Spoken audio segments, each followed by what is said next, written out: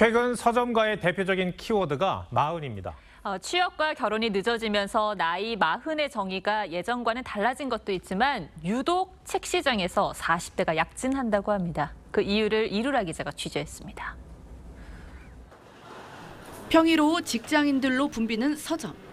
매대 곳곳에 마흔 키워드가 눈에 띕니다. 올 상반기에만 출시된 마흔 서적만 19종. 일부 인터넷 서점에선 중년 타깃 도서 출간량이 최근 3년 이래 최고치를 기록하기도 했습니다.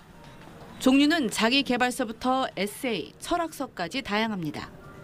40대가 사회 경제적으로 완성된 시기일 거라는 생각과 달리 여전히 녹록지 않은 현실에서 좌절하는 이들에게 희망과 위로를 건넵니다.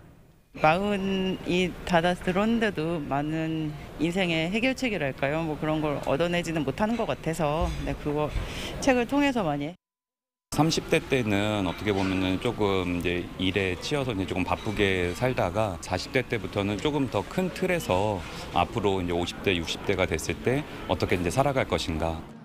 출판계에선 독서 시장의 노령화를 이유로 꼽기도 합니다. 영상 매체에 익숙한 젊은 세대와 달리 활자에 좀 더 익숙한 40대가 자연스레 주 고객층이 됐다는 겁니다.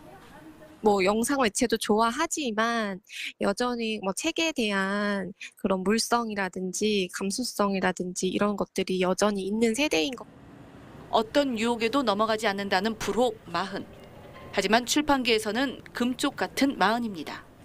TV조선 이루랍니다.